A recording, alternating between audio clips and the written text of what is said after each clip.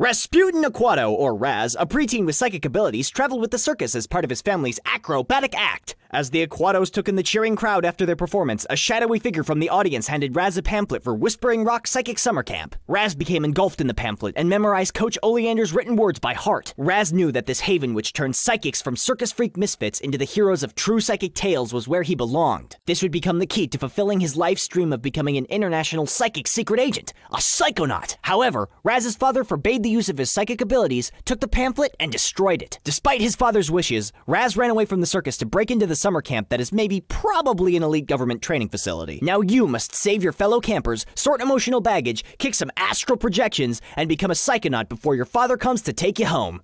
Have fun!